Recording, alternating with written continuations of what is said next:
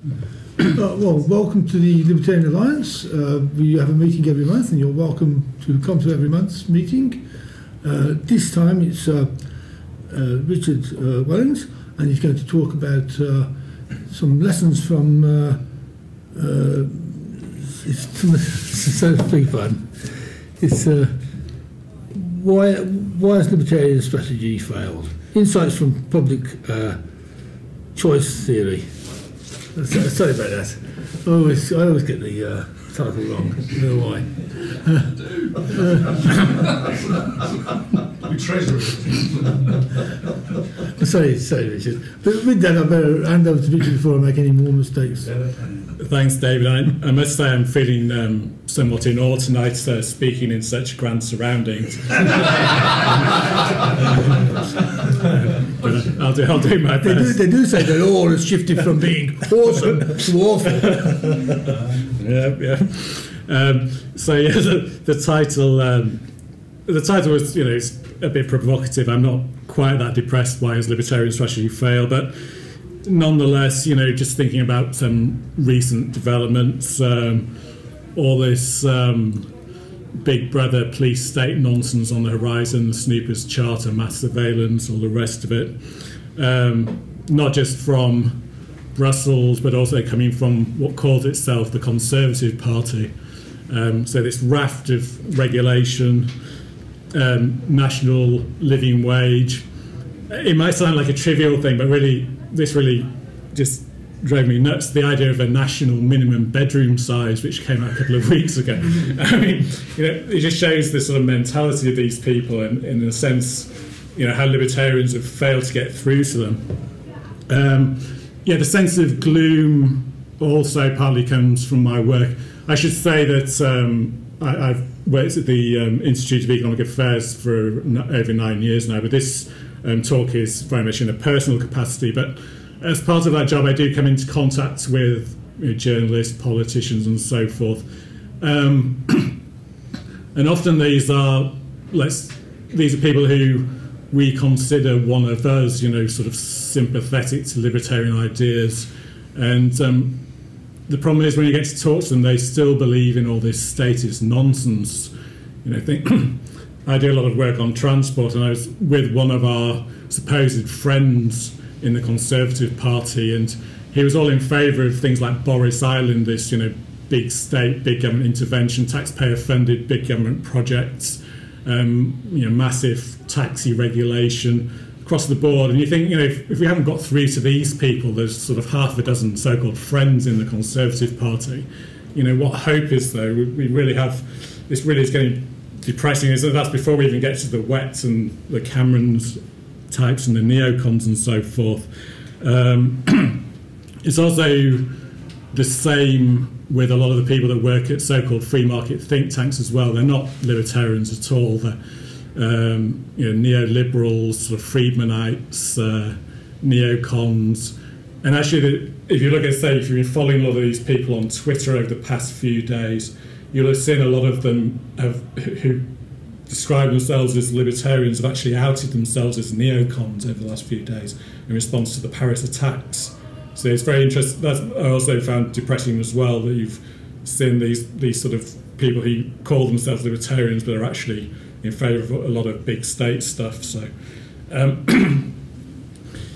um, and also I think a few years ago, about maybe ten years ago, uh, the movement uh, got a false sense of optimism because. Um, there is a concentration, a disproportionate number of libertarians in the sort of IT field who are in the computing, your computer nerds to use that phrase. And um, I think that gave us a bit of a spurt in the early days of blogging and social media it gave us you know a bit of an advantage for a few years because we had a disproportionate influence just because of the technical knowledge of that niche uh, within society. But now a lot of that stuff's gone more more mainstream, and you see that that advantage has pretty much dissipated. And if you look at the number of you know Twitter followers and things like that, you know some of these people uh, like Owen Jones and so on and so forth, they in a different league. I mean, you've got uh, possibly the the top performing libertarian in, in, I'm talking about proper libertarians here, sort of minimal state or sort of anarchists. probably the, the top performing one's got about 20,000 followers, which is really nothing compared with all the other competing ideologies. So, um, you know, we've lost that advantage that we had a few years ago. But I think it was just a sort of particular uh, period of time um, when, we, when we made a lot of progress. Um, yeah, so the structure of the talk. Um, the first part's going to question the hypothesis that um, libertarian strategy has failed thus far. Um, and the second part will present possible explanations, uh, particularly drawing on um, public choice theory and how it looks at the um, incentives facing uh, actual and potential political actors. Um, now, if I was go on to part one, which is an attempt to assess the success of libertarian strategy, uh, I'm going to briefly run through some of these libertarian strategies that have been tried. So um, there's obviously things like um, education efforts, um, trying to persuade key opinion formers, academia, through things like writing articles, publishing books, TV and radio appearances, social media, and so on and so forth. Another strategy, of course, is party politics. And I mean, does anyone know what's happened to the Libertarian Party in the UK recently? There are several, aren't there? Yeah. I mean, I think One of them's got a new leader, right? haven't- Isn't it? Yeah, I mean, I, I haven't heard much from them recently. I think it did okay for a while when Chris Mounsey was in charge, but then they had some sort of meltdown. Uh, and obviously in America, it's still, well, I only guess maybe 1% of the vote or something, but it's more organised there and, and has some, some sway. Um, yeah, there was the entries, entryism strategies, you know, trying to get in some sort of weight within, say, the Conservative Party and so on. I think that was going quite well in the 1980s, but then it sort of got stamped down by the party high command. Um, it was tried in the US as well, but judging by the recent presidential debates in the Republican Party, it hasn't really got very far.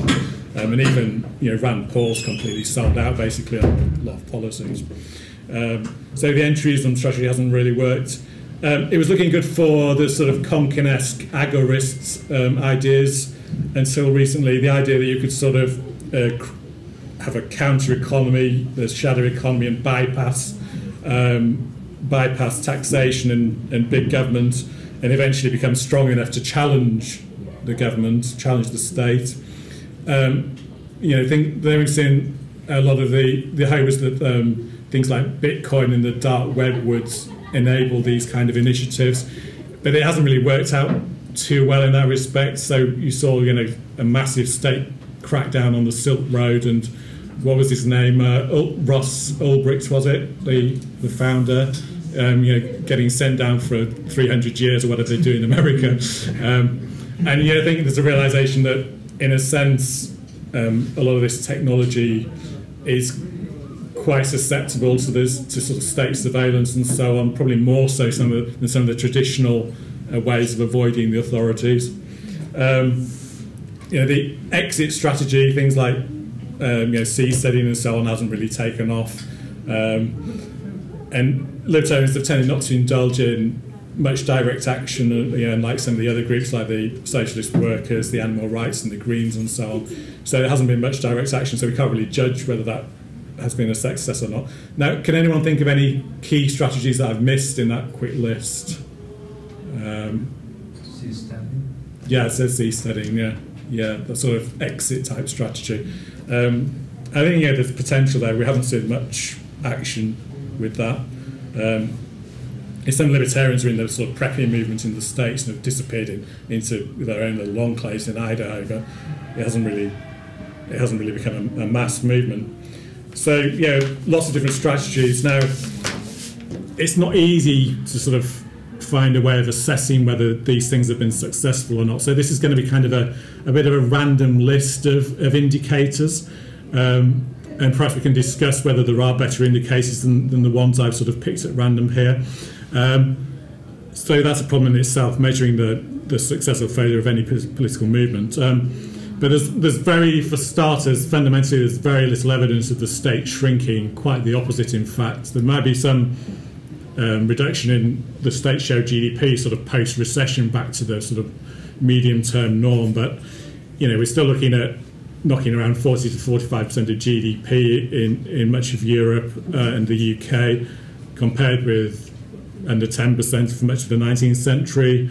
Um, big government advocates, uh, they completely dominate the cultural field, the arts and so on, um, comedy, film, etc., etc. There's very little evidence of libertarian influence. One or two exceptions to the rule, but not much at all. Um, now, as far as I know, there's not a single libertarian journalist writing for the national press as a, as a columnist or regular contributor. Um, am, am I wrong about that, or can anyone think of any any names? A.N. Wilson has called himself a libertarian. Yeah, anarchist is it? And he's sort of is libertarianish occasionally. There's some, there are a few people like that, though, aren't there, who are sort of libertarianish in, in some respect, but not across the board. It can be Simon Jenkins. They call it themselves. Simon Jenkins? Just the odd, I mean, he's, he's like A.N. Wilson. Yeah. He's like A.N. Wilson. He'll go to the other extreme, but occasionally he produces a libertarian. He doesn't, he doesn't, he doesn't like planning deregulation, though, does he? Oh no. so, um, yeah, I mean, Nobody consistent. sorry? Nobody consistent. Exactly. I mean, even, there have even been, you know, some of the ones you think are sort of Austrian friendly have, have sort of been a bit weak on things recently. So, I mean, I think that's quite depressing, really, because there are hundreds of these people and not one of them's a libertarian. So, um, your MPs, uh, I mean, this is another one I'll, I'll put out to the audience, but as, as far as I know, there's possibly only one MP who's a, an across the board libertarian. Um, can anyone think of anyone else? Sure, you haven't said who it is. No, I don't want to say who it is, but I'm just. Can any- anyone think of any names? Well, Steve Davis claims to be a libertarian. Who? This Steve David Davis- Davis. No, Steve, Steve J. Steve Baker. Steve, Steve Baker. Jeremy Corbyn? Steve Baker. Yeah, he's, he's Yeah, he Yeah, Steve. Steve's who I was Steve thinking of. Yeah, he's, he's libertarian. Yeah.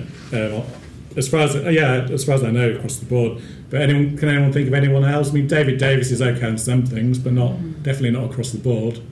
Um, so that's one out of 650. and Douglas Carswell as well, I guess, on some things he's a Yeah, but he's not uh, not across the board. He's more. He's kind of a bit of a neocon in some ways. He's quite good on things like monetary policy. You know, seeing all the flaws of uh, um, central banking and so on. So yeah, Douglas is an ally in some ways, but not in others. Um, but yeah, so. But even if you include the people who are sympathetic and a little bit sympathetic, it still doesn't get us very many. So um, that's not good. Um, one out of 650. Uh, um, complete absence in the EU institutions, as far as I can tell. One. Who's I won't mention his name, but, But there is- one of the London MEPs is obviously very sympathetic. he's not. No. Oh, so I stand corrected. Uh, if it's who, who, I- who I think it is. I'm sure it is. Is, Yeah. is this the ideology that dare not speak its name? Um, But you, wouldn't, you wouldn't expect anyone in Parliament to be a libertarian, though, would you? I wouldn't anyway. Who is this fellow? Well, I mean, I'm just saying, uh, if it's, I mean, there might, yeah, there might be maybe one. I mean, uh, Godfrey Bloom was okay on some things, but not on others. So you know, he was one of those types. Um, yeah, um, there are quite a few of these sort of ordo liberals in the EU institutions, but personally, I think they're you know anathema to libertarians. That's just another form of state capitalism. But you know, you, you can have worse people than ordo liberals, I suppose. Um, yeah, no, no libertarian political parties, as far as I know, of any substantial influence in in Europe, and not much influence in the US these days. You know, it's a bit better in the 80s, perhaps. Um, can anyone think? Does anyone know of any libertarian parties in, in Europe that are making waves? No. So no. See, They're not waving, they're drowning. was that uh, what's her name? Stevie Uh, Smith. Stevie Smith. Yeah. um, academia, that's another one. That, that, um, so it's like there are a handful in the UK. There are a handful of libertarian-leaning people at King's College now in their one of their departments. Was it public policy or something department? or Political economy department. And then there, are, you know, there are a few, maybe half a dozen scattered around in random, usually sort of second or third rate places because they're, you know, sort of squeezed out of them, the cliques and so on because of their views. Um, Jonathan Barnes at Cambridge. sorry. Jonathan Barnes at Cambridge. Right. Yeah. So, so there is. He's been Yeah. there for some time. Yeah, yeah. So there are examples, but you know there are probably tens of thousands of academics, and we're talking about you know a couple of dozen at best, probably. We did have Robin Hark at uh, Warwick, Yeah. Yeah, and he's a member of the LA. yeah. So I mean there are there are a few of them scattered around, but and a bit of a He's scattered Pocket. around. Sadly, uh, he died in an air Died in a plane crash. no, no. True. Um, yeah, but not not too many in academia. It's the same same picture. Um, yeah, think think tank world, which I know quite well. Um, you know, there are maybe a handful of proper libertarians in the think tank world, but even in the so-called free market think tanks, they're outnumbered by um, you know, neoliberals and ordo-liberals and um, neo, a lot of neocons these days as well. Particularly, that's really been a growth phenomenon. Um, and I, I don't, I don't, you know, I think they're actually all those groups are actually enemies of libertarianism in the long run. Ideologically, they might be strategic allies in the short term against common enemies, but I think in the longer run, they're, they're you know, this sort of Friedmanites are, are enemies um, of proper libertarians uh, with their um, rigged markets and all the rest of it. Um, yeah, civil society is another another one I noted. Uh, you know, the charity charitable sector, NGOs, and so on, and they're you know completely antithetical to uh, libertarianism generally. I mean, unless anyone's got some examples of these NGOs that are sort of libertarian minded. I mean, part of the problem is a lot of them are funded by the government for starters, or, so that doesn't help. Um, yeah, and my final point on, on this sort of random list is um, I think we've got to be aware of these um, global economic shifts and the implications of those for libertarianism. So, if you think this philosophy has a core in the so-called Anglo-Saxon world, and that, that part of the world is becoming less and less relevant in terms of the um, global economy and, and transnational institutions and so on. I think that's that's also something we've got to watch out for. You know that um, that in itself, these big tides of um, economic geography are working against to some extent, and also you know the shift to the to the east where um, it's just you know libertarianism doesn't have a look in. Um, also, you know the demographic tides as well working against us. Um, so now the you know a less a less thoughtful audience would say, you know, what about Thatcher and Reagan? You know, didn't we have a big success story with them? Um, of course, if you look at even the, at the basics, things like you know share of state spending in GDP. So Thatcher managed a bit of a, a plateauing for a few years, maybe went down a little bit by one or two percentage points, and then once Major got it went back up again. Uh, I think Reagan, if anything, increased government spending, certainly increased the, the debt level, um, and also he, he launched things like the war on drugs, which was an, you know absolutely abhorrent. Well, he didn't launch it; it was Nixon, wasn't it? But he intensified it. It was an absolutely abhorrent um, crackdown on on liberty, um, and also the you know the Central American death squads, Pol Pot, all this stuff people never talk about. Reagan. Um, targeting the Saddam's chemical weapons against Iran, that sort of stuff. So there's, you know, it's definitely you know a bad side to Reagan, to say the least. Um, you know, what about privatisation? That was supposedly somewhere where we had a, a big influence, and I think, unfortunately, um, libertarians to some extent played the role of useful idiots here because. Um, what we wanted was um, proper privatisation to move away from direct state control to actual free markets. But what we actually got was um, a move to, if you like, um, artificial uh, rigged markets, um, heavily regulated, um, and I think in some sectors at least, it's probably more akin to crony capitalism than what we actually wanted. So, and you also didn't really get the. You got some efficiency gains in some sectors, but in a lot of sectors, I think you probably got the opposite because you all this regulation and cronyism and um, you know special interest uh, trying to to um, cash in on the on the regulatory structure. It's called you know regulatory capture. Um, Stigler's theory on this. Um, you actually ended up with more more regulation and more transaction costs and uh, more rent seeking than you did under the nationalisation. In, not in every sector, but in some sectors at least. And and that's partly the other problem, of course, is some of these big utilities are naturally um, there are huge economies of scale and they're naturally vertically integrated. In which case, there, there's already a lot of um, the, within those companies. There's already a lot of command economy going on. So the benefits of moving those to the private sector are probably lower than from things like retail and distribution, the more dynamic entrepreneurial, uh, fragmented sectors, um, which of course is partly what the communists realised with the, the new economic policy, and then um, Deng Xiaoping in China, his version of it, which was um, what was his thing called? Um, Well, the cat. G- No, it's, no, it's the um, was it socialism the Chinese way or something? His his version of the new economic policy.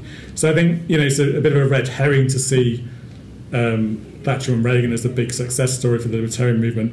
The other key example, of course, is the the um, so-called deregulation of the city, the Big Bang.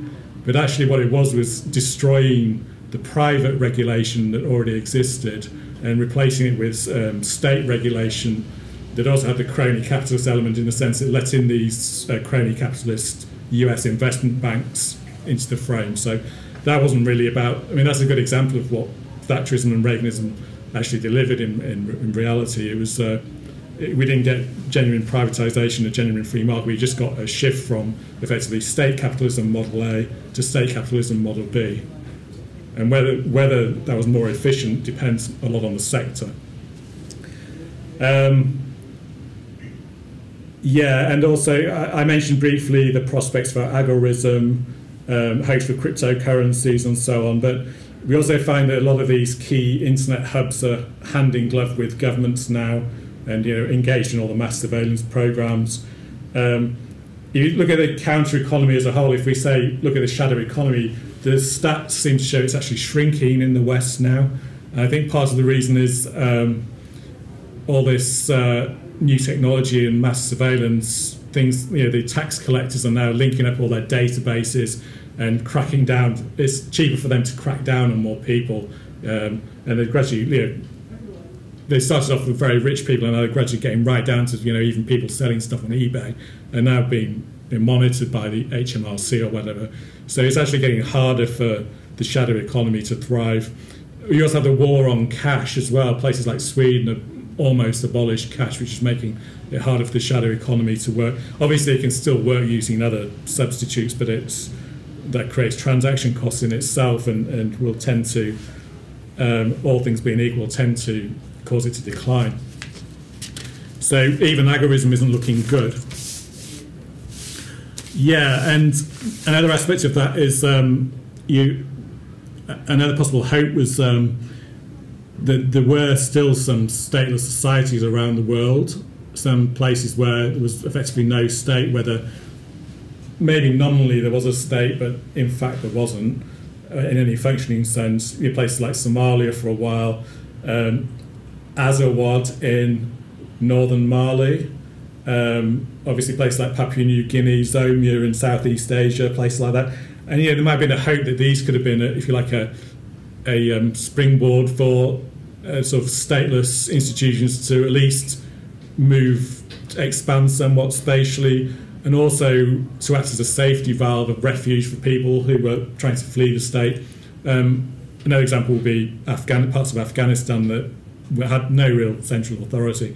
But of course, all these places are now you know, come under attack by by various um, sort of massive power blocks. Um, foreign aids gradually uh, sort of regis- being used to register all these people in these places with biometric IDs and putting in new roads and you know steal, being used to steal the land and destroying all these gradually destroying these stateless societies. so even that's looking looking pretty bad. Um, you know that sort of safety valve is gradually being eroded by by um, big government and its expansionary plans in the developing world. Now, um, yeah, there are some bright spots. Um, I think the libertarian student movement has been growing very rapidly, but there's a, a bit of a caution, a sort of cautionary note here. Um, you know, a lot of these young people, they might have kind of a strong uh, ideological viewpoint now, but you know, once they get into into government or they get influential jobs, they're very likely to sell out, and we've seen that time and time again. You know, career ambition and so on will tend to dilute it.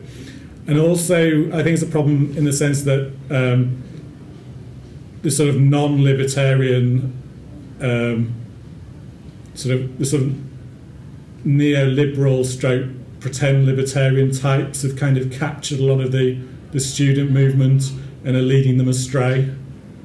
Um, so you find that usually at these sort of student conferences that are supposedly libertarian, you'll have you perhaps have one properly libertarian speaker, and then you'll have you know the other nine will be neoliberals, sort of Milton Friedmanized rather than David Friedmanized, if you can put it that way. Um, and also, you know, ne- ne- a few neocons usually as well. So um, it's you know partic- particularly a big problem in Europe. That and a lot of these libertarian student conferences in Europe are actually funded by the EU or the US government or the German government, which says a lot. And obviously, they're not going to come out with anything that, that challenges the establishment if they're they're getting their money from there. Right, so that's the end of part one. So a few bright spots, but but generally, you know, I think people were a lot more optimistic a few years ago before all this sort of we've seen a sort of a, another sort of upsurge in big government over the last couple of years, uh, and particularly depressing that it's a, you know a conservative government that's doing it uh, at the moment. Um, not that you know we should expect anything else looking from experience. Um, so now I'm going to move on to some of the possible explanations, some of the, if you like, structural problems facing the libertarian movement. Um, and I'm going to use the lens of public choice theory. I'm not going to you know, go into public choice theory too much. Um, but um, yeah, one of the key insights is the um, the logic of collective action by Mancur Olson, uh, and that's the observation that um, concentrated special interest groups who have have very strong incentives to um, engage in political action because they're going to gain financially from, for example, rigging regulation or getting subsidies from the government. Um, and this contrasts with uh, dispersed groups like taxpayers or consumers um, that have very low incentives to um, get involved in political action, to lobby, to try and rent seek, because the um, gains to any individual of those groups are so low that it's just not worth the bother of them even finding out about political issues. And so if you think concentrated special interests, there might be things like, you know, a particular industry where there's a few big firms who want to get protectionism or subsidies or favourable regulation, or there could be a bureaucracy, you know, a central government bureaucracy that wants to see their budgets increased and more status and so on and so forth. And, and my sort of basic hypothesis that, that libertarianism f- faces a particularly hard struggle vis-a-vis other political movements because it runs against these concentrated special interests and it doesn't re- its in own interests don't really coincide with any of these concentrated special interests which means that it really have to reach much higher bar to have any signi- significant influence over policy or indeed the erosion of policy now, um, I can explain how this could work by looking at a movement that has been successful over the past 30 or 40 years, which is um, environmentalism. And it, it, in a sense, it has a similar sort of long-term timeline to libertarianism. You know, it became sort of the seeds really grew in the the seeds go back way back like libertarianism, but it really sort of started to grow a lot in the 1960s, and then. Um, but by contrast to libertarianism, by the late 1980s, it was starting to permeate um, policy, and now it, it pretty much permeates um, just about everything that the government does. Um, obviously, the radical environmentalists will complain that it hasn't gone far enough, but nonetheless, you know, you, you can argue that it's you know, had immense influence over everything, and just about every government department's permeated by uh, you know environmental policies now. Um, now, how can we explain this compared with uh, libertarianism? Um, for one, environmentalism offered ample opportunities for uh, bureaucratic expansion, for um, new institutions, for bureaucratic growth, and that was particularly important uh, at the end of the Cold War when, um, if you like, to some extent, big governments had been um, delegitimized, uh, wasn't popular, so they could latch onto this, if you like, new form, new excuse for big government in environmentalism. Particularly important for transnational bureaucracies like the UN and the uh, European Union because uh, they, of course, um, these um, environmental problems can be viewed as global or you know, regional problems beyond just nation states. So it was absolutely fantastic news for them. They could justify all kinds of uh, growth in their transnational institutions. It could also be exploited by crony capitalist corporations. So you know, some of these car firms, for example, they use environmental regulation, which we know from VW, you know, the extent to which it's they managed to capture the policymakers. I mean, personally, I think it's a, you know good thing if those regulations are watered down, but that just it just shows this close relationship between the people that write the regulations and the people that are supposed to comply with them. This regulatory capture again. Um, yeah, so it could be exploited by them to shut out um, competition from developing countries. It's, if you like, a new form of protectionism, um, like the ozone layer thing. Uh, that meant they had to use expensive, high-tech refrigerants with, that were patented as well in the West, and not the you know, bog standard CFCs. So that was great for the for Western companies. All these you know uh, anti-pollution technologies in cars as well. In India, they they sell the Tata Nano car for about 1,500 quid, um, brand new but to me, to comply with the EU regulations, they'd have to sell it for about seven grand here, which just shows how these regulations are, a form of protectionism. Um, yeah, and also, you know, these um, very powerful cro- crony capitalists, what what Lenin called the financial oligarchy, uh, they, of course, see the potential for skimming huge rents from emissions trading and all these uh, phony environmental markets. So they've already got a massive uh, sulfur trading scheme in the in the US, uh, run out of Chicago. But if it moves on to carbon trading, which we already have a bit of with the EU scheme, but if you get some sort of wholesale carbon trading thing here, they're going to be able to skim a fortune out of environmentalism. So these very powerful vested interests align with environmentalists' own views, which gives them a massive leg up in terms of uh, getting their, their policy implemented. So yeah, the, my basic idea is that you know, libertarianism faces an uphill struggle because its objectives don't coincide with those of concentrated uh, special interests. The main beneficiaries from uh, freed markets and libertarian um, policies or removing government policies uh, would be um, dispersed interests like consumers and taxpayers who find it very difficult to organise directly. Um, now, there's also a problem within the libertarian movement, which is that phony libertarianism, the sort of Friedmanite neoliberalism, that actually does benefit these powerful special, concentrated special interests because it creates artificial rigged markets that can be exploited by these, if you like, crony capitalist interests. Something like education vouchers would be a prime example, where there would be, you'd have to, obviously there'd be, you know, tight government regulations to stop, you know, Islamic State running schools and getting their uh, government subsidies from the vouchers or whatever like we saw with the you know the Birmingham uh, scandal. Um, so you know these Friedmanite schemes offer massive opportunities for these firms to shape regulation um, and make money from it. So you can see uh, there's a tension here within the libertarian movement that um, if you like the Friedmanite um, neoliberals will tend to get policy traction, whereas the libertarian proper libertarians won't because of this um, special interest, pattern of special interest uh, groups. Um, so you find that also affects the funding of libertarian groups as well. So the, the phony neoliberal groups will tend to get much more funding because they serve these special concentrated special interests. So we see you know, genuine libertarian groups really struggle to get any funding. A good example is um, Centre for a Stateless Society, uh, I'm coming on to the Libertarian Alliance in a minute. Yeah. Um, and you know, that's the uh, leading left libertarian think tank in the States, um, with people like Kevin Carson writing for them. And, um, you know, I don't agree with a lot of what Kevin writes, um, though it's definitely worth reading. But, you know, I don't think it's right that he's, you know, working as a, whatever, as a hospital orderly or something, shoving trolleys around. And also, you know, um, getting, you know, a few quid, a few hundred dollars a month from a few private donors, but you know, he should be. You'd think on a like for like basis, would be a, you know a professor somewhere or in some major institute, given all the work he's done. Um, but once again, that you know the li- left libertarians really are they're really screwed because if any bunch is sort of counter all these powerful concentrated special interests, it's them.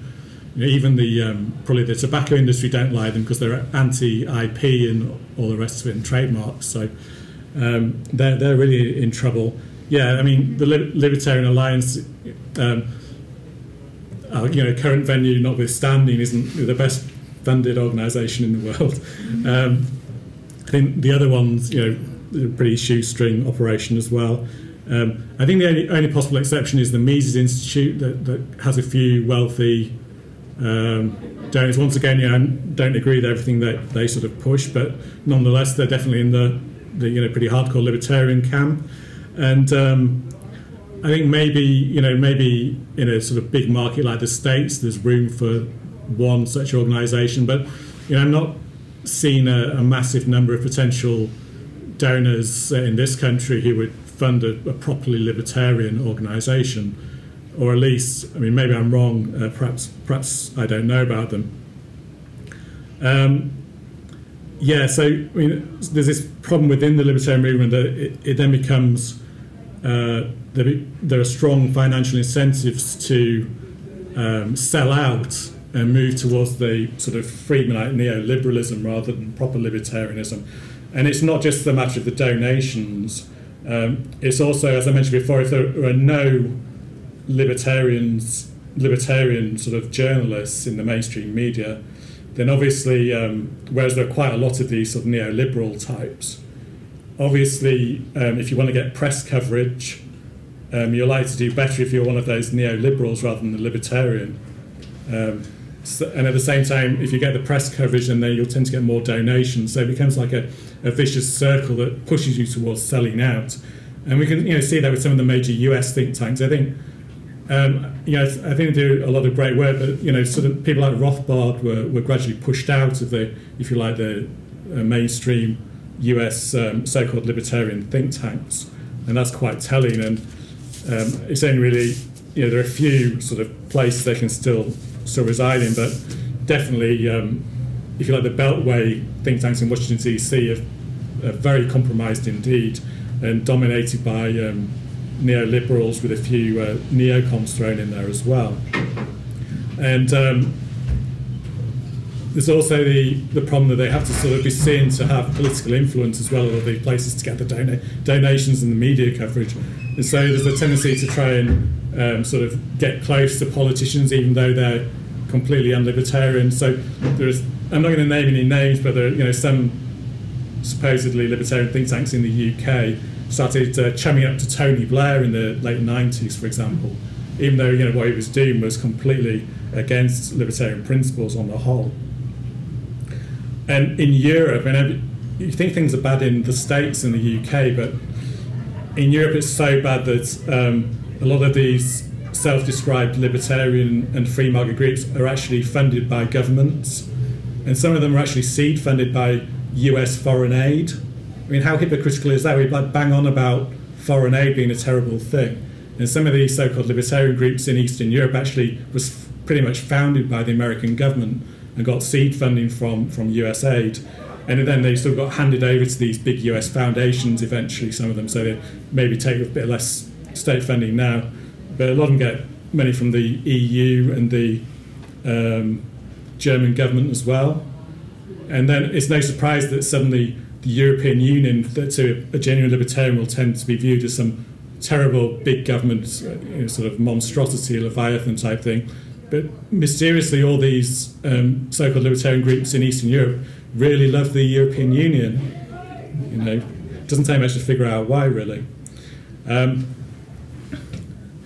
yeah, so to conclude, um, you know, the um, non-libertarians within the wider movement and, and sellouts have a huge um, advantage over genuine libertarians because they their views tally with the special interests and therefore they tend to get the breaks in terms of donations, the media coverage, um, influence with politicians, or it's like maybe a sham influence, the idea that at least you're engaging with them.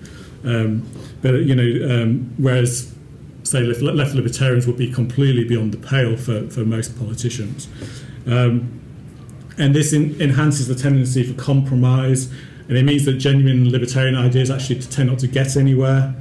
Um, and you know, a recent example is um, the infiltration or growth of neoconservatism within the wider free market and libertarian movement, with more and more um, think tanks and organisations being, if not taken over, but very heavily influenced by the, the neoconservatives, which of course originally was uh, came out of Trotskyism and believes in things like social cohesion and massive foreign intervention, um, wealth, eh, you know, believes in a welfare state and lots of kind of things like censorship and state surveillance. It's hard to pin it down, but you can you know, pretty much judge them by their actions rather than what they actually write a lot of the time. Um, and what you see is that um, you know, there are a lot of these neocons in the Conservative Party. Uh, there are lots of an awful lot of them in the media, and then they'll tend to give other neocons in in the NGOs and so on the breaks, the you know the newspaper columns, the opportunities, the media appearances. So if you like, it becomes a virtuous circle for them, but at the same time, that's crowding out genuine libertarians. You know, you know, lead to you know good things for their careers and promotions and so on. Um, so there's a tendency within the libertarian movement for it to to sort of sell out to these non-libertarian ideologies. Right, so I'm going to finish by opening up the debate with a few questions. Um, so, am I correct that libertarianism faces particularly high hurdles uh, because it because of this logic of collective action and because it doesn't its interests don't coincide with those of concentrated special interests? Is it true that few, if any, concentrated special interests have common cause with libertarians, or rather some that I haven't thought of that could have common cause? Is there some untapped source of funding for genuine libertarian groups that we don't know about or I haven't mentioned? And if these uh, conclusions that I made are accurate, I mean, what are the implications for libertarian strategy going forward? Does it mean we've somehow been going wrong and we should adjust our strategy in a different direction? I'll end it there.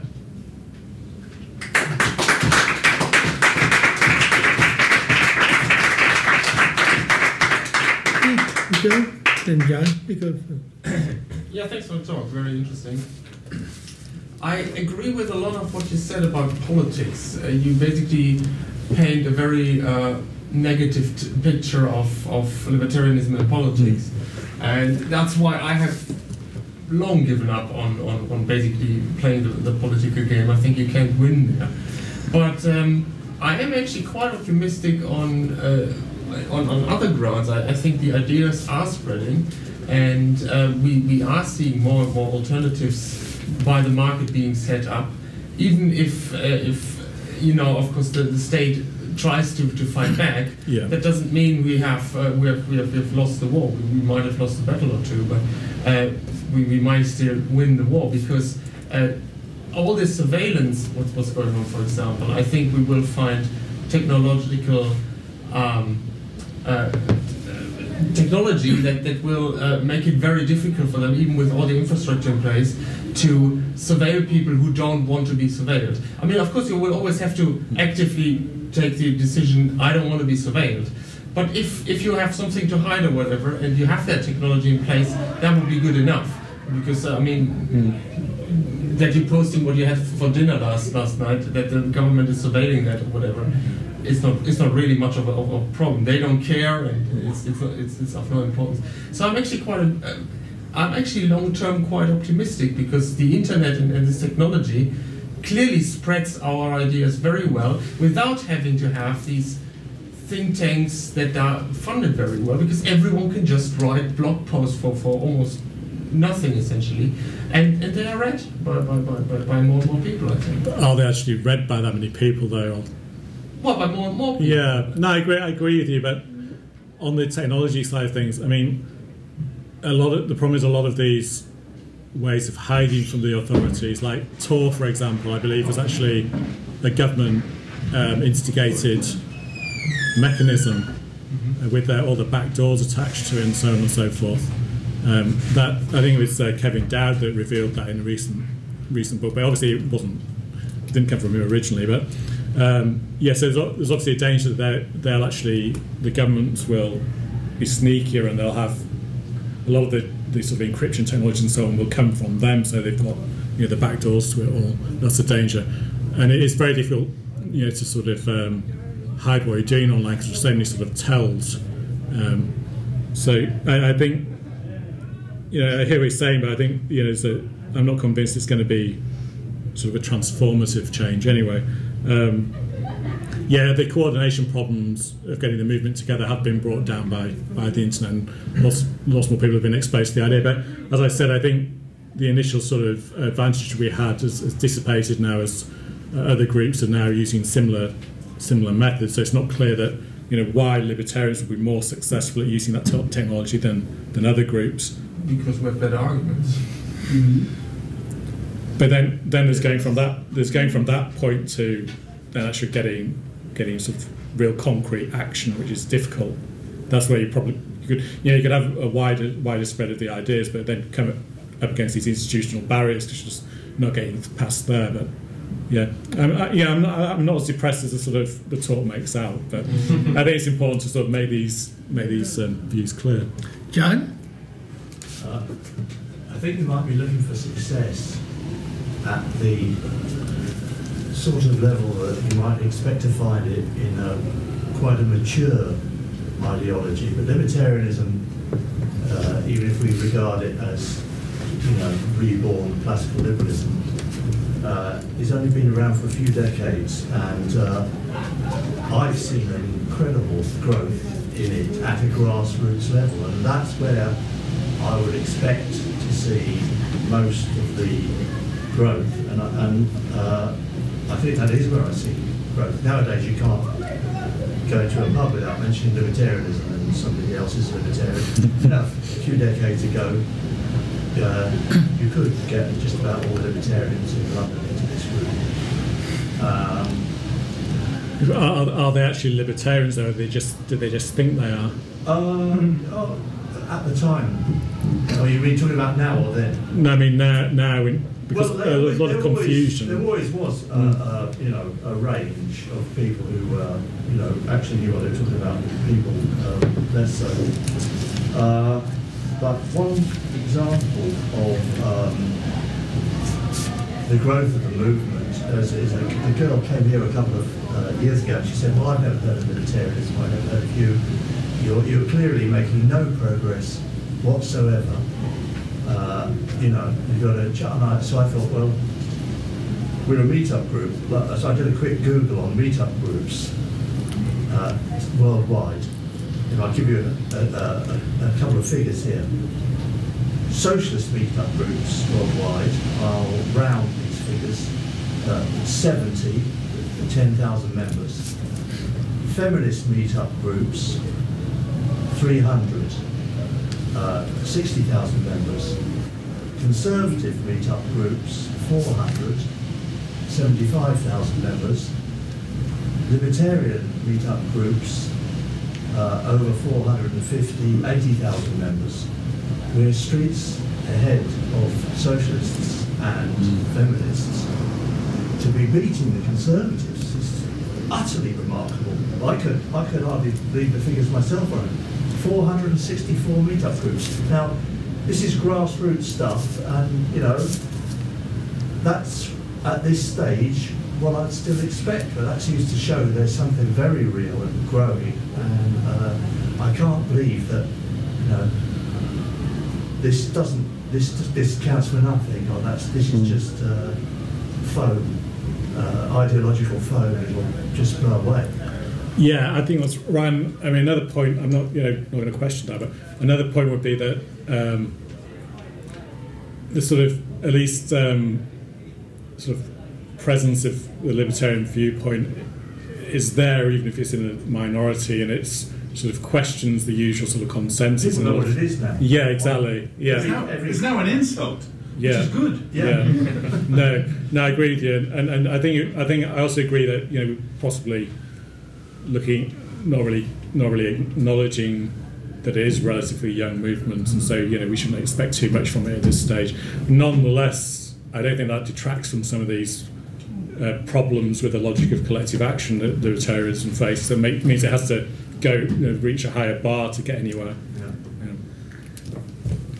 Yeah. Um, Detlev and then Bob, and then. What's your name, by the way? Zen. Len.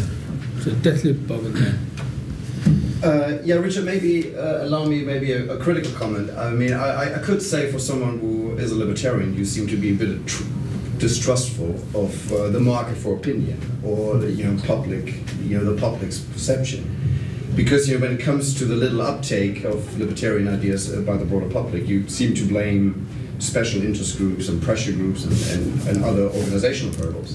But maybe it's just the public you know, maybe the product we have to offer is just not one that the public really desires so much, or that is not such a priority for the public right now. I mean, there's a market out there. So I would say, in my own limited experience in meeting journalists and when I sort of was promoting libertarian ideas in the field of money, I don't think that these people are institutionally opposed to it. They just know their audience and they just know what kind of ideas and what kind of uh, uh, viewpoints chime with the audience. So I, I think picking up on maybe John's points earlier, I think either you can see libertarianism as some sort of avant-garde ideology that is uh, really going to grow uh, into maybe a political influential movement, maybe over the next hundred years. I mean, I don't know. I mean, maybe you are like a 16th century or 17th century philosopher who, you know, whose ideas really are going to be, put into practice, you know, long after his death. Or you think you are operating in the world of real today politics, but then you have to speak to the men in the street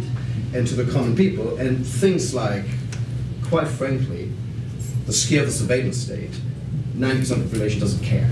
You know, they're happy to use their Googles, they happily know that their data is going to be restored, and it's just not a key concern for theirs. And just make that move to, and sometimes I wonder, and I do think, I'm more optimistic than you, I do think libertarian ideas are spreading, just very differently, very slowly, and sometimes through compromises.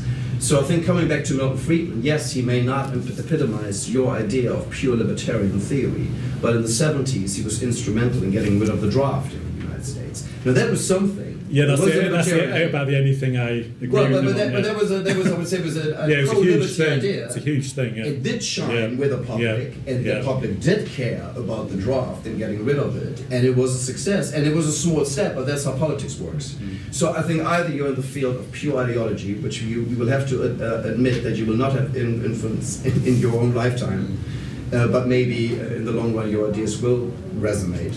Or you're in the field of politics, which is something where you have to be in the market for opinion, and that's very different from the pure libertarian theory. Yeah, no, I think some, some good points there, very good points. Um, with the um, on the issue of the media, though, um, we saw a recent scandal with um, you know, stories being pulled because it would upset, upset the certain advertisers. So that's one issue there. You know, there is a direct influence in, from these special interests on media content, and I think often, unfortunately, libertarians are just used as uh, useful idiots uh, by the media and politicians in the sense that um, you know they'll they'll libertarians will come out with a sort of sort of radical privatization plan, and then the politicians and the sort of influential journalists will then promote something that doesn't seem so extreme and seems more reasonable. That's the crony capitalist option, and then that's exactly what actually gets put into place. So, um, and, I mean, and I, I think as far as you know, the, the public are concerned, uh, if you look at environmentalism, I mean, that was entirely a sort of top-down thing from the um, elites. I mean, it wasn't as if people could notice um, you know, climate change or so on in, in the 1980s. It all came down from these you know, big institutions and politicians and bureaucracies and so on. And if you like, um, you know, the public awareness came from this propaganda from these uh, these organisations, these special interests. It wasn't like there was a market there. Uh, you know, it wasn't a genuine sort of choice that people made based on their own experiences. It was very much from the outside, a top-down process, and I think that's generally true for a lot of policy trends, just because of these public choice type incentive structures that applies to the media as well. Bob? Uh, to look on the bright side, if things become very, very bad, as they may in the next 10, 20 years, it's libertarians who can explain why they went bad. Very bad. Pensions, spending, uh, what do they call it in America? What, what you owe the public. Yeah. Well, they aren't going to meet them. They aren't going to do it. They ain't going to do it no how, no way. Now, who, who conned them? Who lied to them? Who screwed it up all those years? And who's explained why it can never work? That make up for something. But, but don't you think that the, the sort of mainstream narrative is that it was you know free markets that messed up the economy, these you know banks on the loose. that oh, yeah, yeah, yeah. In the short run, in the short run, yes. yeah, But um, if this is happening Yeah, I 10, suppose- 15 years down the line, yeah. I suppose if you have a sort of a Abenomics type situation where you know the intervention fails again and again and again, and the public, uh, Yeah. you know, the retired population is getting larger, the tax Yeah. population is getting smaller, the, you know, No, I think that's right. And also, also you know, the, the sort of um, great move of the, the economic course of the East is going to come as a shock to the system at some point in the next couple of decades as well. So, you know, whether I think particularly when the um, all the sort of rentier scams that the West engages in uh, come a cropper as political and military power collapses. You know, things like you know, creaming off money from the Gulf states and that kind of thing. Um, and then there'll be a you know big ratchet down in living standards um, once all those scams. Um, it doesn't collapse. guarantee success, but No. it's an opportunity. So. No, no, I agree with that. Yeah, yeah. But it, the, obviously, there's a danger it could go in the sort of sort of Corbynomics type direction. Len? Uh, see what you think of this. I, when I try and convince people of libertarian or, in my case, like anarcho-capitalist tenets, uh, most people believe that, even if it's true or not, that they have some sort of skin in this game called statism. Like corporations love, big corporations love the state for the protections they provide. Unions love the state for the monopoly privileges that they provide. So when you try to convince these people against the um, all the state that does wrong, you know, it's, it's hard to do so when they believe that they can get something out of the game as it is played now. And then to be a true libertarian, from an ethical perspective, you, you cannot allow yourself to play the game. And that's sort of the catch 22 that we find ourselves in. You can't win the game if you don't play.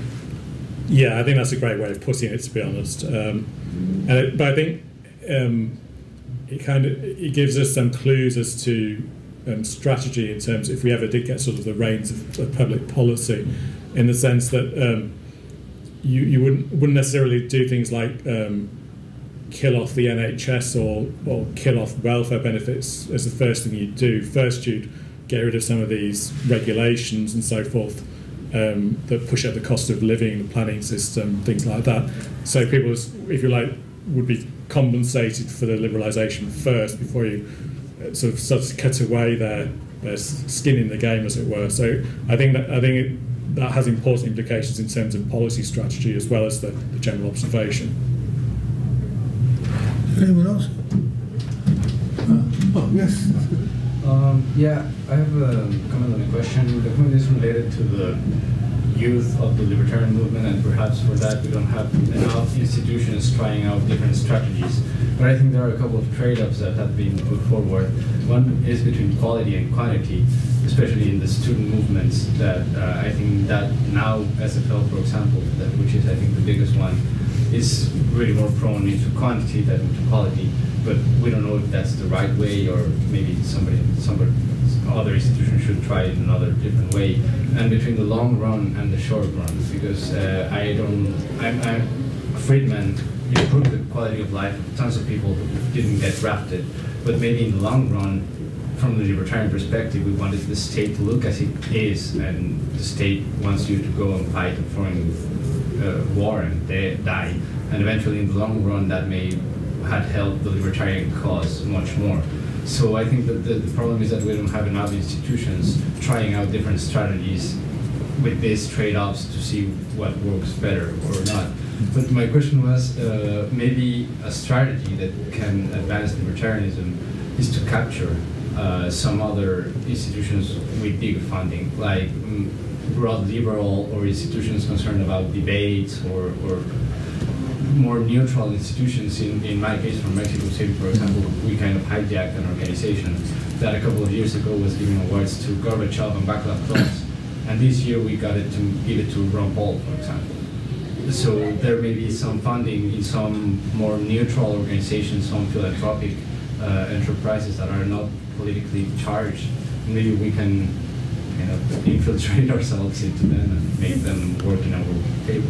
Yeah, I think that's a really good idea. But you, I mean, obviously, there's, a danger if um, you're going to lose the sort of funders from year to year, year, to year. But there, there are some institutions that have got like an endowment, aren't there? So, uh, you know, if you could capture them, then providing you're broadly within the remit of the, the you know, uh, constitution or whatever, then you, you could actually make a difference and even use it to fund smaller libertarian groups. Yeah, I think that's a really good idea. But these things are often you know easier said than done to try and take over these institutions because they're they're often de- de- deliberately designed to be quite have a high degree of inertia, and so you know they might only change you know, one trustee every five years or the, that sort of thing. So it can be hard hard to do, do this quickly, and it, you'd have to be really really committed to to achieve that. But having said that, the you know the sort of Fabian types have managed to do that to subvert various institutions over the over a very long game.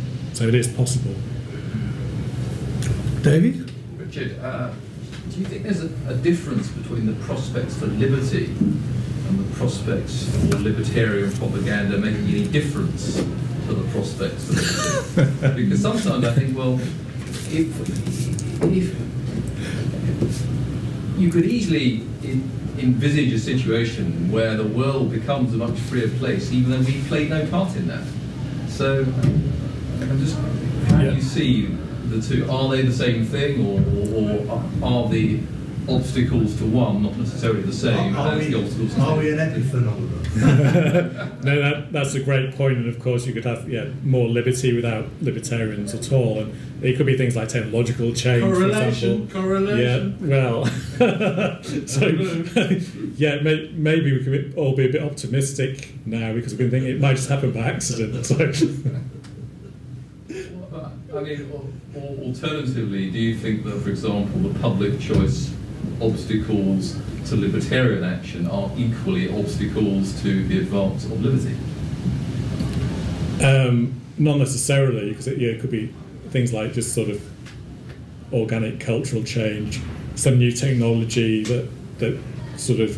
I mean, it could even be you know something that sort of changes um, uh, land use patterns or population density, and all these things can have an impact on on the degrees of liberty and so on and so forth. So. So the prospects could be bright, even though we're wasting our time. yeah, exactly. So, but you know, it doesn't mean to say that you know we, we can't have some impact as well. So, yeah, good, good very, very good point. Yeah. Seth? You- You're Seth, aren't you? Yeah, yeah. Um, yeah, Richard, um, long time no see. I last saw you at the um, Institute of Economic Affairs. I don't know if you're just there, but um, is it not the case that we win an argument by argument as libertarians, and that can eventually to something greater? I mean, I always take the example of foreign policy. Um, I like to think that most people in the UK um, and US and France and other countries are less interventionist, because they've seen the trouble that it's caused. And most people aren't libertarians, but they don't believe in us getting involved in airstrikes in Syria, let alone Iraq. Um, so, um, are we not? Have we not got to um, find arguments that we can relate to first, and all rush to get to get wide? Because sometimes I feel as though libertarianism, a lot of people feel doesn't relate to them. Um, so um, I was reading an article on libertarianism.org. I don't know if you're familiar with that website, and um, it was about um, civil rights movement in the 60s. And the guy who wrote the article said that um, libertarianism forgets sometimes the experience of minorities, so sort of black people, maybe in this case Muslims, etc. Um, so have we got to sort of be able to, how should I put it, relate to people's lives more in order for it to actually people to take notice? Yeah, I mean, I think that's that's that is a problem, and um, if you like, there's this uh, intellectualism within the libertarian movement. Uh, I mean, we could do with more people who are sort of dumbing things down and getting some very simple messages across. I'm the man. so, um, and, yeah, I'm not, I'm not, you know, I'm not, I'm, I'm not sure how, how exactly to do this, but uh, yeah, I mean, um, it possibly has improved with things like social media, where, where just by the nature of the medium, you have to condense things and, and dumb them down and, and try and make them as engaging as possible to a, a wide audience. So I think there's some some traction there, but you know, once again, we're going to be hamstrung by um, these concentrated special interests that are, you know, in the media and um, NGOs, um, politicians, politics, and so on. So um, you know, even if even if we get some traction with the general public, then it doesn't necessarily mean it's going to translate into that much. But, I mean, there are there are things like, for example, jury nullification where it could make a difference and, and, and things like that. But you know, there's not much evidence that's made much difference so far. Bob? Uh, it's possible to have a dispersed uh, special interest group that can concentrate, which is uh, gay lib, that kind of approach. Uh, it was in the personal interest of those who wanted um, things to be legal or not illegal. That's the same, not the same thing. Um, and that seemed to work. Of course, it was pushing in some ways on an open door. Uh, but um, we can see how that was not everybody arguing in the same way, not taken up by well, not taken up by politicians that quick. That was a bit of a hot topic, and yet partly because it was part of the liberal package, so it couldn't really, in a sense, be denied. John Stuart Mill and all that. But um, you know, it, it did it did work from the grassroots up. I think. Yeah, it did, but, I won't say bottom up. yeah, we could, we could, we could do a few of these, couldn't we? um, yeah, but I'm not. I'm not convinced it was that much of a dispersed special interest in the sense that in these big cities there's actually quite a tightly knit community. You know, where people could be sent to Coventry. You know, the free rider problem probably could be addressed because they kind of all pretty much all knew each other, and you know, these sort of social bonds that you wouldn't necessarily get. I mean, that's another problem with, with libertarians tend to very much go their own way and be you know, very very individual in themselves. So, whereas um, with some of the um, to don't know how to describe them, sort of egalitarian, more egalitarian groups, they uh, they see um, sort of solidarity within the group as being such a big thing, and that I think creates more disincentives to free riding and and gives them advantage, an advantage in terms of collective action. But yeah, I say, I think I think the problem with your hypothesis is I don't think it was really a dispersed interest. I think at the core of it was a quite a close, tightly knit community. And there was a commercial interest as well. To, but, uh, Yeah, plus yeah, you know, sort of the industry as well. Um, and I mean, didn't he get quite a bit of state funding at, at some Oh. point? But that maybe that came a bit later on, but it, it does now. It's ne- nearly all state funded now. The you know the uh, what's the name of the main one? Stonewall, is it? Yeah. Yeah, that's government funded. Yeah. Oh. Yeah. So it did it did sort of meet um, sort of some bureaucratic uh, criteria. But I think the obviously I think that's that came a bit later in, in the early. But it got support from things like the GLC, didn't it, as well? And yeah. yeah, so there was quite a bit of state involvement with that. Mm. Any other speaker? David, do you want to speak? Uh, you well, I want was to put your hand uh, up or you just... You you put a question to us, and I, I uh, towards the end, and I don't know what the answer is, but I'm curious to know your views as to the value of single issue strategic alliances.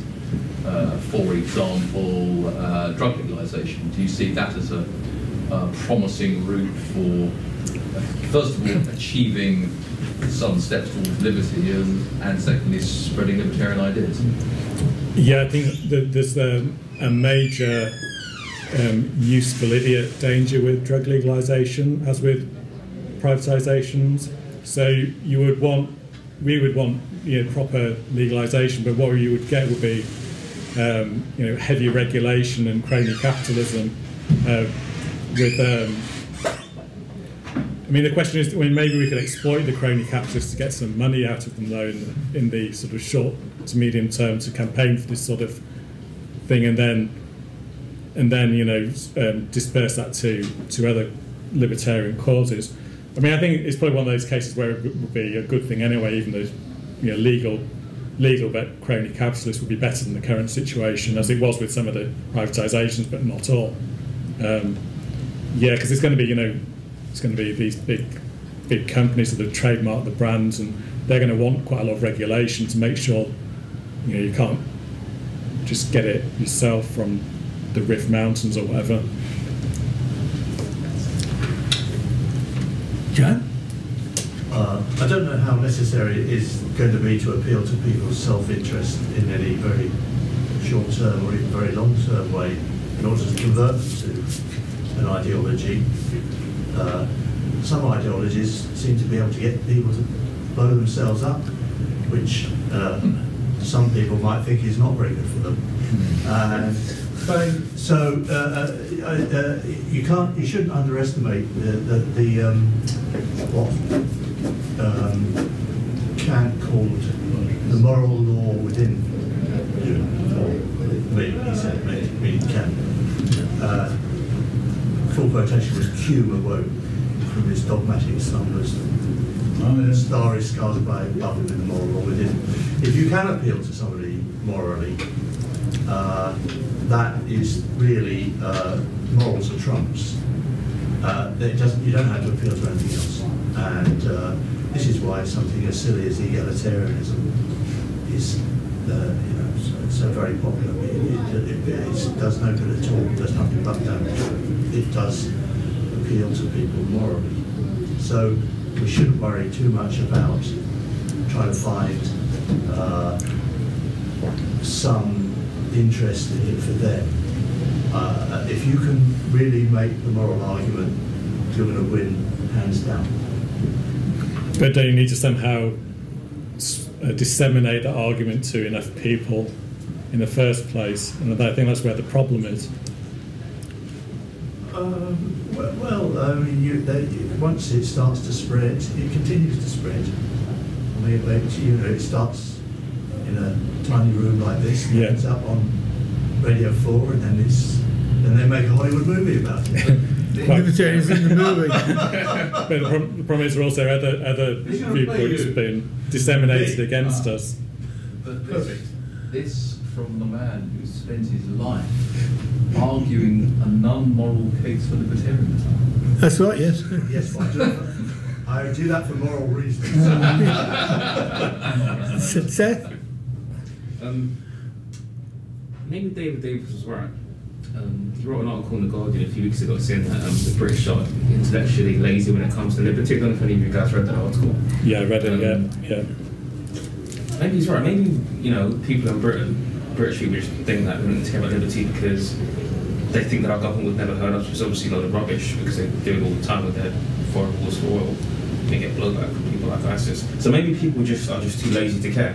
So how, I mean, how do we that this is serious? It's your freedom that's on the line. They think, oh, we'll never be in trouble in the UK. Going to have a dictator. We're going to be safe. It's these sort of things which maybe people just think, I don't need to care about liberty because I have a stable government.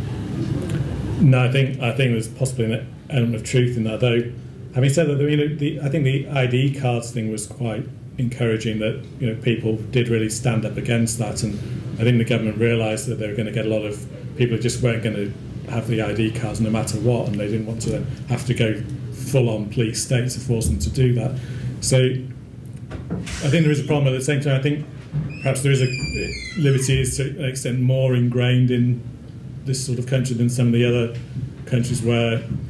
Um, I mean, even look at Oswald Mosley. I mean, that was a pretty, you know, weak, very sort of weak version of fascism compared with what they had in a lot of other countries. Um, you know, it just seemed rather silly here, and uh, it was all, all sort of relatively sort of wet compared with what they did elsewhere. So I think you know culture is important, but you're right. I think I think there's a danger when it happens very slowly as well. The erosion of liberty that people don't. It's what is the boiling frog? Is it? That's the Yeah, people You know, aren't aware. to- I mean, yeah. it's funny. I was speaking to someone, and she said, um, I don't mind if the government have the access to all my bank details and records. And I was like, uh, what if you knew something about the government and they use that information to blackmail you? She was like, what never happened? I was like, are you sure? And it's just like there was just no care for the fact that privacy is gone. Yeah, I don't think a lot of um, people in the Muslim community understand that now because they are being, you know, blackmailed to join the security services or become informants or whatever. Generally, that is that is a very UK thing. In Germany, that same question would be answered quite differently. Yeah. Because they have, a in recent memory, in Eastern Why, Germany, yeah, yes, they- yeah. they tried to surveil every, everything. This country in particular is extremely optimistic about the goodness of, of the authorities. Yeah, and, and, and that's something I think we can push at as well as libertarians. We can you know, try and quiet, but exactly. We can. This is an area we can really try and to try and you know make hay with and say, come on, guys, you know this is extremely dangerous. But you know, I don't know whether it's going to make that much headway, and it's definitely not, not making any headway within the current Conservative Party. Put it that way. Mm-hmm. Any others, uh, please? It's it's quite dangerous. I, I just heard like the Ministry of Defense on BBC praising on this part, and he literally said like, despite of what libertarians said, which I At least we got a name check. Yeah, At last yeah. we get a name check, but he did make the argument of yeah, France. That happened to France and not us because we have this strong surveillance system. Despite of what libertarians think about it, Hmm. we praise more the security than liberty, and that's why we are not France in this moment. And I'm guessing that they didn't, they didn't actually bother to have a libertarian on to, to argue the contrary view. No, no, they, they tend not to on that sort of issue. They just get, you know, someone, uh, you know, sort of neocons mostly on there. So we need to see you more on the BBC. I've only seen you a few times. Yeah, I tend to be sort of in, in sort of bursts and then not Yeah. on for a few months. Yeah. I'm Yeah. in transport. yeah, HS2. That's Yeah. I mean, not that you ought to be, but uh, not to Australia. But uh, that's, your, that's why they, in their file, if they, if Well- thing, Quite. I mean, you know, I've done some other stuff that tends to be more patchy. Yeah. Um, but they, t- they, that's another issue. They tend to sort of pigeonhole libertarians. you they tend deserve a broader slot. Yeah, well, it's not really my forte, but nonetheless, they, they tend to sort of the, a lot of the the bookers in the media. They tend to think of it in terms of Labour versus Conservative, and they sort of shove you in the Conservative camp. But if you don't really fit into that sort of viewpoint on, which applies to quite a lot of issues, so they tend not to phone us up about immigration, for example, because they think of us as a sort of on the conservative side, where, whereas some people will tend to, you know, tend to be more liberal on that. So um, that's another problem in itself. They tend to get pigeonholed. It's like the left think they're right and the right think they're Yeah, exactly. Yeah. Pat? Yeah, um, yeah, I, I'd like to congratulate you on describing yourself as a proper libertarian. I didn't actually describe myself as one, As but a, I was just saying. libertarian. Yeah, I was just make, making the point that there are a lot of phonies out there, and they're they're often the ones that, that tend to do well. You know, There's- I mean, that's, if you look at look at the states, for example, some of those some of those um, guys in the Beltway think tanks who've sold out completely, and uh, you know, they're, they're often the ones that get the uh, you know articles in the newspapers and so on. Yeah, I mean, to, to have a, a, a political ideology is one thing, political theory. The problems arise when you try to put these things into practice. That, that's when all the problems come to, you know, whatever libertarianism or any anyism. And um, I, I, I mean, I, I've heard some of the libertarian ideas about putting politics into practice. They're, uh, quite actually quite mad. And uh, I, I don't know, for example, what your, your opinion would be on immigration. For to just give a simple example. Um, you know, you, you have to have sort of you have to have parameters, sort of legal parameters, or and for, for your own for your own existence. Otherwise, you will be like Christians in the Arabian Peninsula, welcoming the new immigrants called Islam.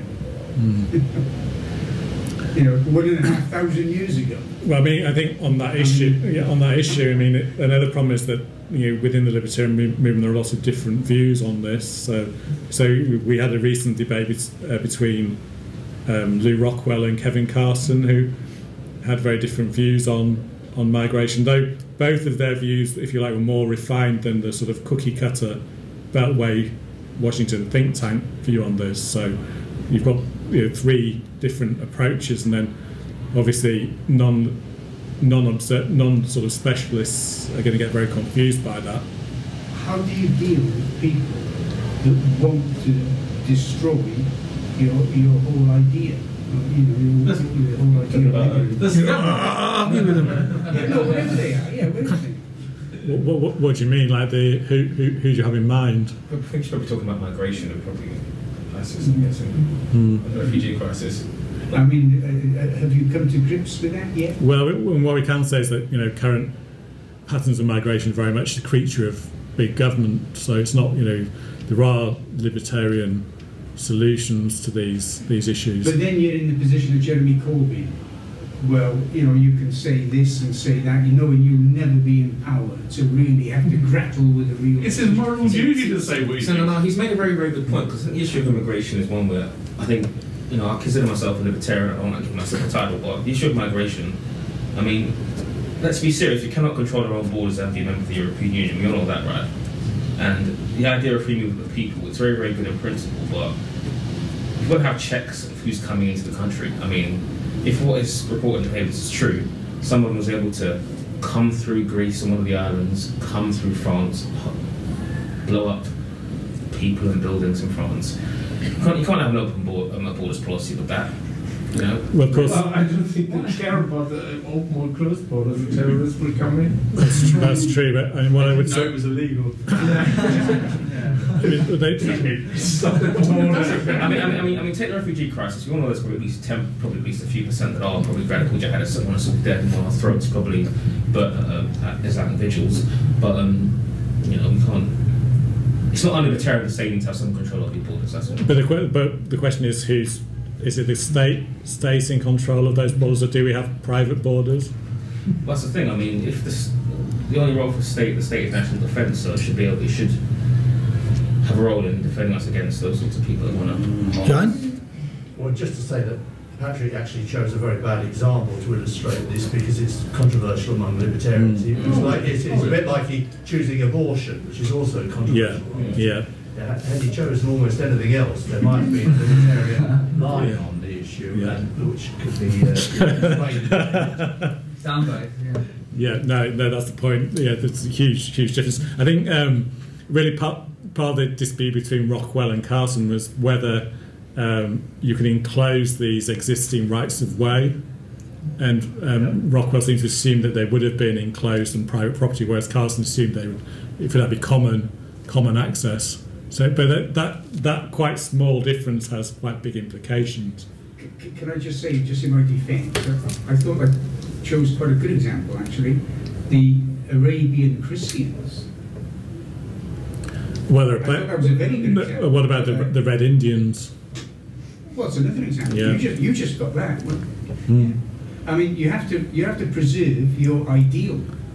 You you, you don't self-destruct, Got to preserve liberty. do you? But, it- but, but it was different with obviously. Suicide bomb. Yeah, well, as I say, they're, they're out. You know, no, no, no, really. You, but you have can- to deal with that. no, you can have you can have you can have sort of um, you know, voluntary communities that could exclude people. That's not anti-libertarian. So that is that immigrant? Is that immigration? No, you, you, I mean, you don't you don't have to deal with it because it's you see, I mean, libertarians aren't nationalists. It is a big problem for the nationalists. Immigration is a tremendous problem because uh, you know you said you destroy yourself. What's likely to be destroyed is the nation.